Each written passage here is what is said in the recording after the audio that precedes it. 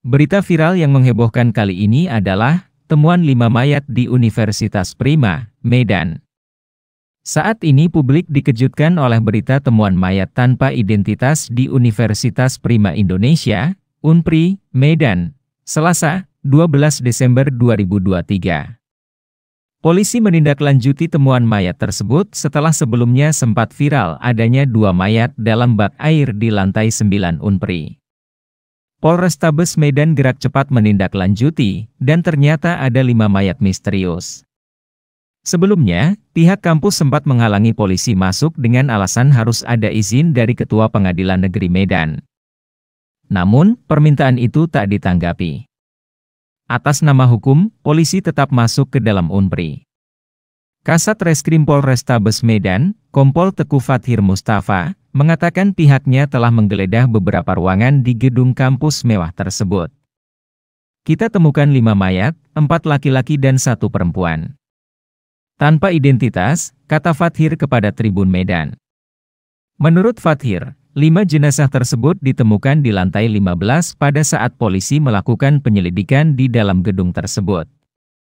Ya, kita temukan di lantai 15 setelah semuanya kita geledah, ujarnya. Menurut Fathir, polisi saat ini masih menunggu kejelasan dari pihak kampus soal adanya lima mayat tersebut yang diduga disembunyikan di sebuah ruangan.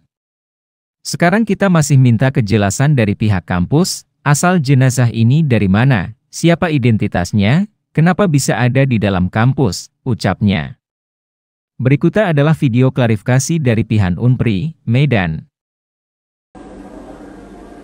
Saya, Dr. Dr. Alina Piah Nasution, salah satu dosen anatomi di Fakultas Kedokteran Universitas Prima Indonesia sejak tahun 2008, menyatakan bahwa pada tanggal 12 Desember 2023 sekitar jam 3 sore, atas permintaan polisi, saya mendampingi polisi dari Polda dan tim laboratorium forensik Poldasu memeriksa di Laboratorium Anatomi Fakultas Kedokteran Universitas Prima Indonesia untuk melihat lima kadaper yang dikeluarkan dari bak kadaper Laboratorium Anatomi.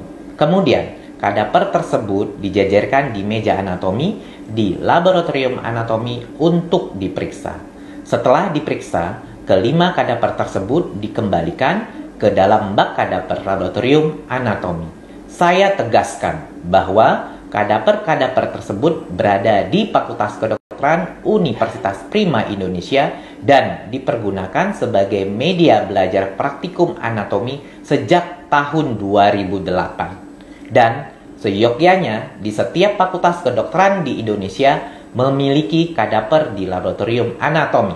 Demikian keterangan dari saya. Sekian dan terima kasih.